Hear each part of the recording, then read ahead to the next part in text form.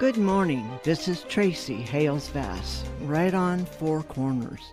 Today I'm excited to talk to Paul Berkowitz, former National Park Service agent and the author of The Case of the Indian Trader, Billy Malone and the National Park Service Investigation at Hubbell Trading Post, and Legacy of the Yosemite Mafia, the Ranger Image and Noble Cause Corruption in the National Park Service.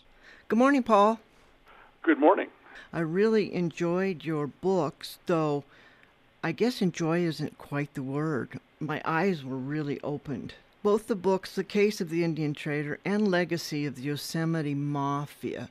Though the case of the Indian Trader actually took place in time later, it was written first, correct? Correct. And part of it had to do with the the immediacy of, of the events. Right. Um, I retired right after I had closed that, that one investigation because of the impact that, that that case had had, the case of the Indian trader, which involved Indian trader Billy Malone from Hubbell Trading Post. Right. I thought that there was kind of an imperative to to address what had really happened and, and get it out there fairly quickly um, kind of make things right and set the record straight with regard to what had really happened out there at the Trading Post. That's right. And I'm glad you did because it was a subject of rumor and crazy news headlines for quite a while. Of course, at, the, at that time, the Park Service wasn't doing anything to correct the record or to set things straight, and the rumor mill had really taken over, and uh, just a lot of really bad information. And there is still bad information out there. For example, that Billy was uh, acquitted. Well, Billy was never charged. Right in that case, and that's one of the things that the book addresses. Tell our readers about who you are and what you've covered in these books. I'm retired after about 33 years in in law enforcement. Most of it federal, um, some of it local with the Boulder County Sheriff's Department up in uh, Boulder, Colorado. But the vast majority of my law enforcement time was with the National Park Service, the Department of the Interior, as a criminal investigator. And that's kind of an unusual career path um, in the national parks because there there are not and historically have not been very many full-time criminal investigators. But that's essentially what I did my entire career. Offered some opportunities to see things um, maybe from a different perspective than a lot of people do, both from the outside and the inside that goes on in the national parks. Um, the magnitude of crime that does occur and has always occurred is something that interests me, and I and I'm I'm pretty passionate about law enforcement as a career and as a profession. I believe it's it's a very it's an extremely noble profession, and I was very happy to be able to to do it as a career, but doubly pleased to be able to do it in in areas as magnificent as the national parks and the national park system across the country. Well, you wrote about one specific case, Billy Malone, and you were the investigator, and you found some surprises there. Yeah, I was not initially the investigator. That Ah. that case was launched, I believe, in probably May or June of 2004, and I was not assigned to the case at all. I had absolutely nothing to do with it. But it it was launched uh, probably under some false pretenses and took on a life of its own for about a year and a half to almost two years before I became involved.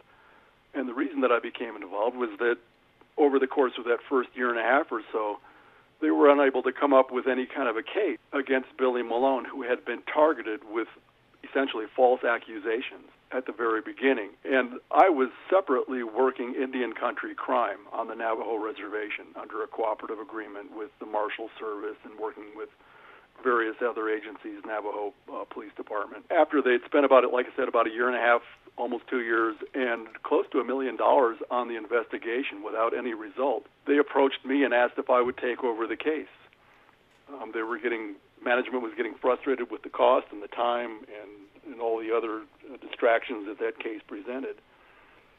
And so they asked if I would take over the case, and I agreed to do it. And at that point in time is when the when the investigation really took on a different path because I started to review the work that had been done previously, started making some of my own inquiries, and very quickly um, detected that there were huge flaws, not only in the allegations that had been levied against Billy, but also in the way that the, the investigation had previously been conducted.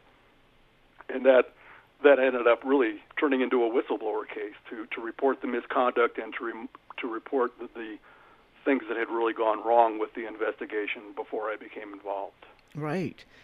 And you actually went into it thinking that Billy was guilty. Well, yeah, not so much that he was guilty, but that there had to be some credibility to the allegations. I mean, it's pretty rare that one walks into a case, especially one that has taken on a life of its own, uh, like it had before me. The idea that there could that it could be so flawed from the beginning that there would be no merit to it is something that I hadn't even contemplated. But um, like I said, probably in the first couple of weeks into the case, it became clear that some of the predicate work for the investigation had never taken place, and that the allegations really of, of embezzlement and theft and all this kind of stuff had never really been scrutinized at the very onset. Taking the time to review that work, it didn't take very long to find out that there, there were enormous flaws from the very, very beginning. So the majority of the investigation actually ended up being one that um, essentially exonerated Billy and turned it into an internal investigation that I turned over to the Office of the Inspector General to address how the case had been handled before me. That didn't win very many friends in the agency. I was just going to say that. Now, um, in writing this book, were you did you go through any fear of reprisal when the publication came out? I wouldn't say it was fear of reprisal so much as I knew there would be a reprisal. Oh. Because I'd had some experience with this sort of thing before with whistleblowing. Mm-hmm.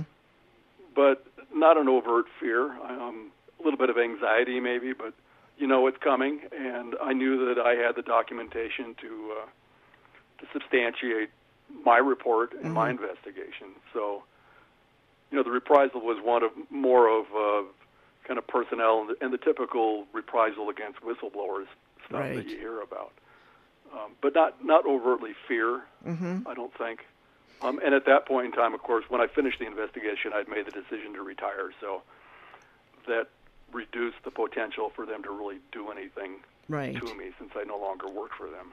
And the second book you wrote after you retired, um, also Legacy of the Yosemite Mafia. But yeah, the the Legacy of the Yosemite Mafia was written uh, three to four years actually after I had finished the case of the Indian trader. I thought I wanted to address really the background of the agency and the culture of the agency and how it, what its approach to law enforcement is and what its approach to what we talk about noble cause corruption within the agency is to kind of explain in a broader sense how something like the case of the Indian trader could actually occur and how those sort of things have historically plagued the National Park Service even though the public and a lot of people in the agency don't really acknowledge that or are not aware of that history. Oh, it was a, definitely an expose. But I think one thing that you made really clear, in spite of the problems within the agency, you still consider the National Park Service to be a worthwhile organization. Oh, a- absolutely. I mean, I, I grew up in the national parks as a kid growing up in Southern California. Yes. And, and then through college and have an enormous investment in the national parks. And frankly, you know, many, many of my friends still are National Park Service, both working and retired. Mm-hmm. And even with these types of experiences that are chronicled in the two books, I remain convinced that the vast, vast majority of National Park Service employees are wonderful, honest, hardworking, uh, well-intentioned people but I do think that there's a tendency to kind of get wrapped up in the mythology of the agency. Yes. And the agency itself goes to some lengths to perpetuate that mythology and to create an environment where there are expectations placed upon employees that kind of put, put a little bit of pressure on them sometimes to deviate from the right course for again, you know, this this concept of noble cause corruption for the betterment of the agency, for the better of the mission of the agency, and in so doing, maybe kind of lose track of, of priorities. Right. That there there may be at some on some at some occasions higher priorities than merely the mission of the agency. This might be a really good time for you to read a section of your book explaining a little bit about noble cause corruption. Cause corruption has been described as a mindset or subculture which fosters a belief that the ends justify the means, adopting a philosophy that supports the notion that it is morally right to do whatever it takes to imprison those who prey on society. A philosophy sometimes embodied in the battle cry never let the truth stand in the way of justice. Each action of noble cause corruption violates the U.S. Constitution, the officer's oath of office, and the public's trust in the policing profession. The term noble cause corruption approach to law enforcement that tolerates and even promotes a disregard for established legal process and procedures, including constitutional safeguards, in favor of arresting bad guys and assuring a conviction by whatever means necessary, up to and including law enforcement officials themselves breaking the law. But the concept of noble cause corruption has application beyond just the law enforcement circles of government. The term can be equally well applied to, as I discuss in the book, Superintendent Benoist's justification for his own role in a bugging that took place in, in the book, reluctantly explaining to the Office of the Inspector General that, quote, this action on my part was a lapse in judgment, but my intentions have always been to further the interests of the NPS. That too exemplifies noble cause corruption breaking or bending the rules of government for the good of the agency. To kind of backtrack a minute, noble cause corruption is a term that is derived in law enforcement circles to describe that kind of police conduct that we, that we were talking about planning evidence, omitting exculpatory information, skewing police reports, um, omitting critical observations or evidence from reports in order to get a conviction, regardless of what the evidence that you have may show. Right. And what I, where I take it in the book, and, and I argue, is that noble cause corruption can occur in organizations other than just law enforcement organizations. Mm-hmm. And it's particularly the case where you have people who are very idealistic, who are motivated by quote unquote a noble cause. And in pursuit of that noble cause, believe that it's okay to bend the rules to achieve the, the desired end result. And that's really what both of these books, The Case of the Indian Trader Mhm. and even more so Legacy of the Yosemite Mafia, that's where they focus is on the ethical dilemma that is encountered when people embrace this concept of noble cause corruption, that it's okay to bend the rules to deviate from proper procedure to attain in the Park Service perhaps the, the agency mission goal or the environmental mission goal, Mhm. or in law enforcement, of course, arresting bad guys. Right. it's, it's not limited just to law enforcement, and that's one of the key um, observations of both of these books. And you've done quite a detailed observation in these. I'm really curious about your writing process because these are so well documented and so detailed. How on earth did you recreate these instances? Well, part of it, and probably a large part of it, has to do with the, the law enforcement profession and just how I think good law enforcement is done, Mm-hmm. which is meticulous documentation, record keeping, uh, the term that was introduced here in the last couple of years in the media, contemporaneous notes. Right. that document things that have been said or that have that, that you've observed. And just keeping really really good record. Some of that includes consensually made recordings of conversations that you have. Otherwise it is just like i said really good note taking and and uh, critical report writing. So that was a kind of a habit that i embraced early on part of it, I think, was almost survival mode from my first experience in Yosemite back in the 1980s, where I first encountered some of the corruption that occurred there. Really, just kind of a way to to cover yourself, Right. so that you have the information and the ability to, to document meticulously and say, no, here's what happened, and here's how I know it happened, and here's how I can prove that it happened. Right. Um, and that's good advice for, of course, anybody in government, but particularly in law enforcement, and particularly if you're going to step forward and be a whistleblower. That's right. And unfortunately, you know, I've I've been approached by people. I remember I was at a book fair recently, and uh, somebody came up to me who had had some troubling experiences of their own. And they said, "How did you survive it?" And I said, "Just meticulous record keeping, note keeping, document everything." And the response was, "I don't think I can live like that." You know, I think that's a little bit of a naive response. I don't think that you can live and survive sometimes in certain organizations without doing that Yes. and it's only it's only smart to do that. That's not the same as being paranoid or feeling like you have to to change the, your life course to document it. It's just, I think, good work. Right. Um, and it helps, of course, to validate, you know, and justify whatever product that you may be producing. So, how long did it take you to put the Billy Malone story together in writing? You know, I think that um, I began the case of the Indian Trader, the book, a few months after I had retired, which was uh, mid 2007. Mm-hmm. And the book came out probably early 2011, so probably three to three to four years, without a lot of rewrites or anything like that. It was just just kind of my writing style, just uh, chronological and putting things down on paper, refining them, verifying information. Right. And um, you know, it's probably more of a journalistic style of writing. I would say so. Uh, Yeah.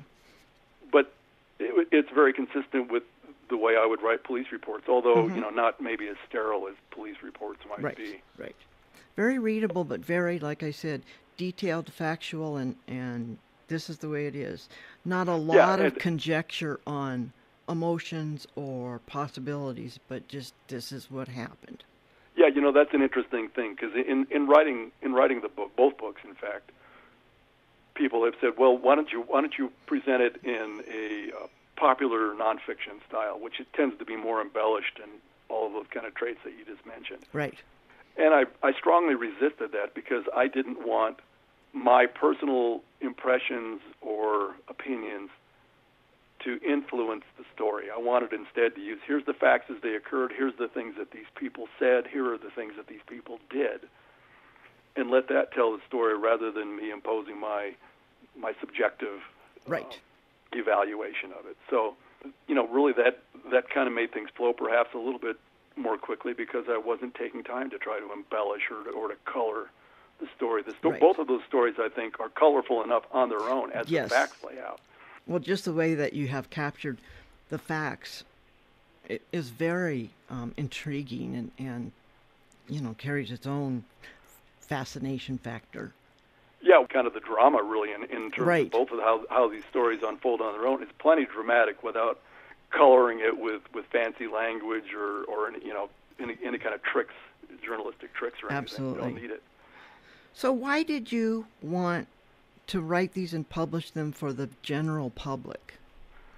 Well, they are for the general public, but they're also for people who were involved with the agency.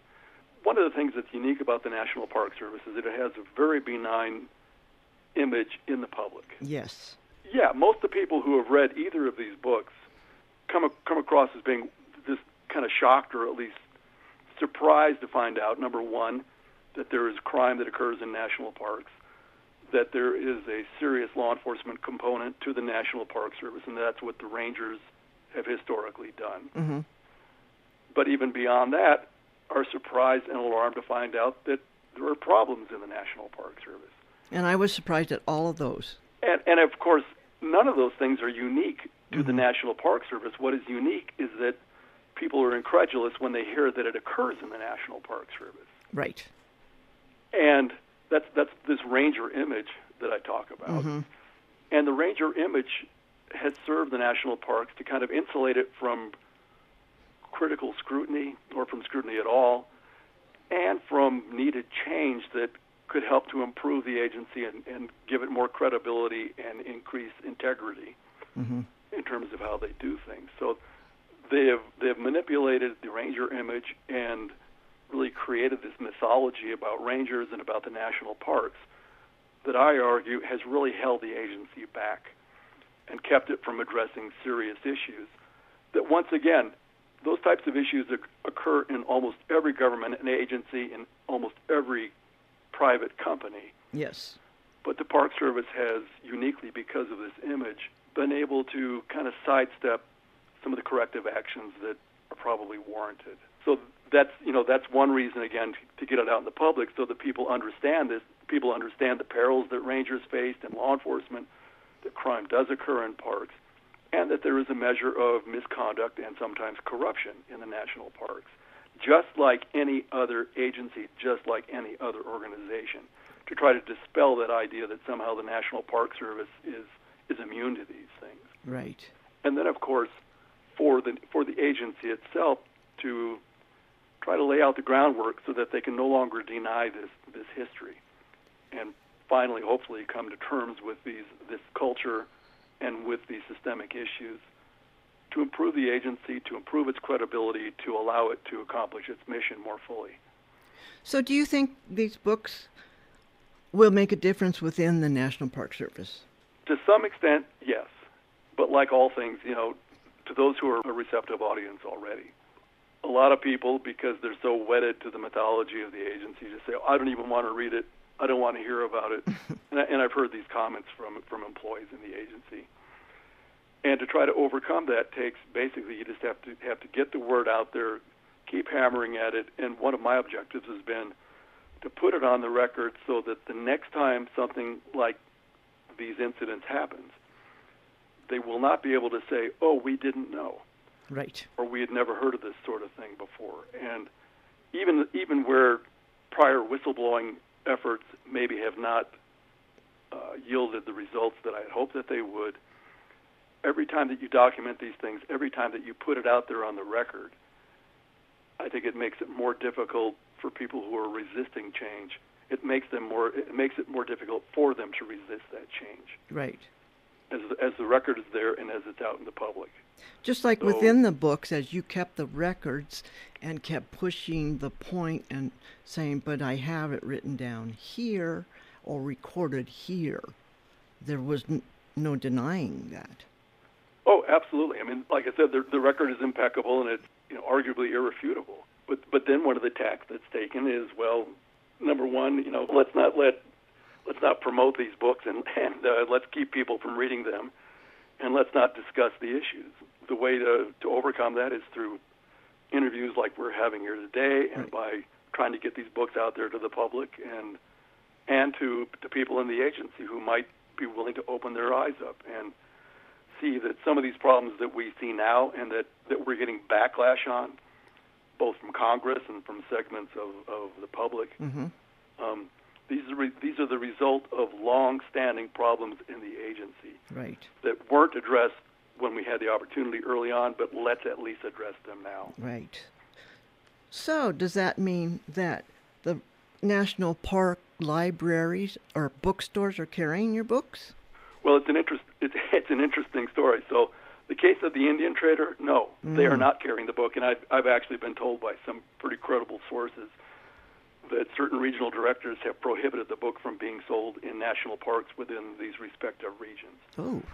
And that's a that's a battle that's ongoing uh, with letter writing, and and in some cases letters from, for example, University of New Mexico Press, mm-hmm. which published uh, the case of the Indian trader multiple series of letters to the National Park Service, to the Western National Parks Association, which runs the bookstores in the Southwest parks. Mm-hmm. Not even a response. Wow. Which you know over the course of four or five years, Goodness. and uh, that's a battle that I'm that I'm kind of continuing. Um, with respect to the legacy of the Yosemite Mafia, a little bit more success. That book again came out in 2017 and when it was published, I immediately sent a copy of the book to the Yosemite Conservancy, which runs the bookstores in Yosemite National Park, mm-hmm. and pointed out that my book credibly refutes the account of events that is presented in another book that they already sell. Oh. And, and that book is discussed in, in The Legacy of the Yosemite Mafia. Mm-hmm. And uh, to their credit, they agreed. Good. And recommended the book to be sold in the, in the park but it, it, that required approval from the National Park Service, Yosemite National Park. And when they forward, forwarded their recommendation to the park, it languished and sat there for over a year without even a response, in spite of numerous reminders that you have you have this uh, recommendation. And wow. typical turnaround time to get a book approved is about one to two months. Well, mm. my book sat there for over a year. Oh my gosh! And when they finally got a new superintendent, um, early in the spring of this year, 2018, I wrote a complaint letter to him pointing out how, how my efforts had been frustrated by apparently obstruction within mm. the park. And he, he reviewed the matter. He had actually read my book before, and he agreed, and he cut through the red tape. Oh. And so now, finally, Legacy of the Yosemite Mafia is being sold in bookstores in Yosemite National Park. Good. So Good. That, that was a major hurdle, but it shouldn't it shouldn't take that kind of effort No kidding. uh, to receive fair treatment. I don't think. Well, with these under your belt, what's next on your writing agenda? Well, I've got I've got two things underway. Um, the one that I'm principally engaged in right now is is a departure from either of these books. It's more of a textbook for law enforcement academies. It's Oh. uh, tentatively titled "Fundamentals of Federal Law for U.S. Park Rangers." Um, I teach periodically at some of the academies, and it's kind of a consolidation of the notes and, and the lesson plans that I've used in teaching fundamentals of federal law in these academy uh, Oh. curriculum. And I think it'll have value in terms of not just what the law is, but how the law works, how different types of laws fit together, how the courts function in national parks, and, and fairly complicated legal things, but very fundamental to, to doing law enforcement in the national parks and on public lands.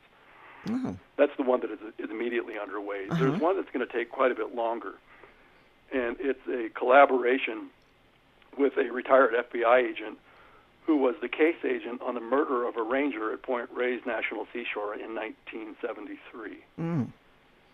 And working with him, I have access to the entire court record, to the entire FBI case file, really records that have not been seen in public ever that chronicles this murder and the investigation of this ranger, Ken Patrick, in 1973. On that is that Ken Patrick is widely acclaimed to have been the first ranger murdered in the National Park Service in 1973. That's the official account of the National Park Service. Uh-huh.